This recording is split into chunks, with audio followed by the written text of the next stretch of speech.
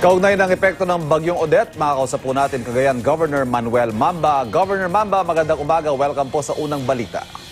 Gandang umaga rin, Ivan. Magandang umaga sa atin. Opo, Gov, as of yung 4 a.m. ah, update ng pag-asa, ay kasalukuyan pong nananalasa pa dyan sa Alakapan ang ah, bagyong Odette. Kumusta po ang panahon sa mga oras ito dyan sa inyo?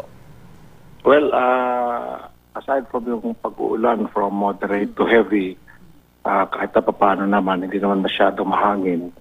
At uh, up to this time, uh, suspended din yung classes natin hanggang sa senior high school since yesterday. So umuulan pa ho ngayon, ah, Gov, as we speak? Dito sa Tugigraw, hindi na. Uh, hopefully, the whole day, hindi na mag-uulan. Pero in some other places, meron pa rin. Aha. Sa mga reports po na natatanggap ninyo, may mga bayan po ba na lubog ngayon sa baha? Ay, hindi naman, hindi naman. Ah, except for ah, yung mga overflow bridges na hindi passable in Macau, in Peña Blanca, and uh, in Tuao also.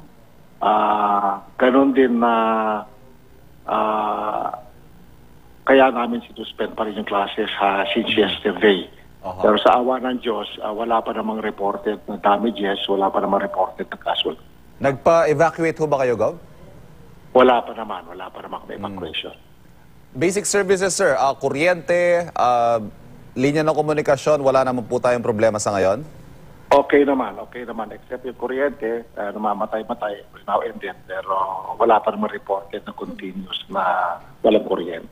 So malakas lang po yung ulan, pero hangin wala naman pong ah, napinsala dyan sa inyong lalawigan. At this point, wala pang, wala pang damage na nare-report sa akin. That's good to hear. Maraming salamat, Governor Manuel Mamba, for that update. Maraming salamat po. Mabuhay po kayo.